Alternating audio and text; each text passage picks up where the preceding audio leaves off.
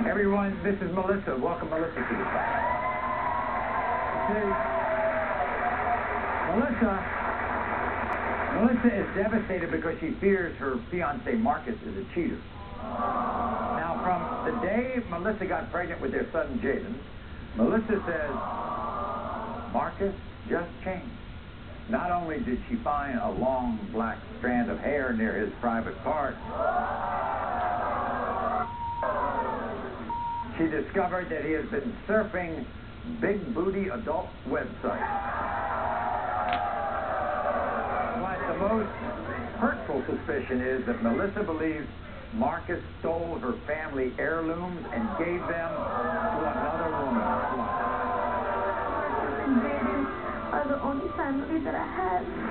When I was pregnant, Marcus missed my first ultrasound.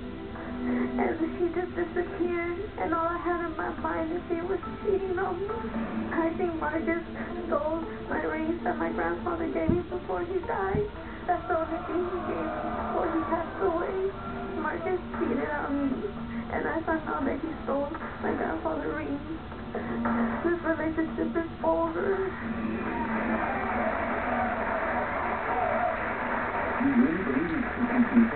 You, you think you took your grandfather's ring? Yeah. This is what Marcus had to say. Watch.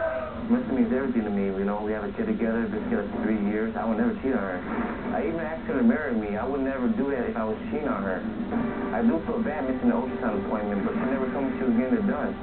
I never cheated on her during the pregnancy. I would never do that to her and my son. Melissa found a long black hair on my private part, but I don't even know where that came from. I can't control what other females write to me on the internet. Even if I'm talking to girls, doesn't mean I'm sleeping with them.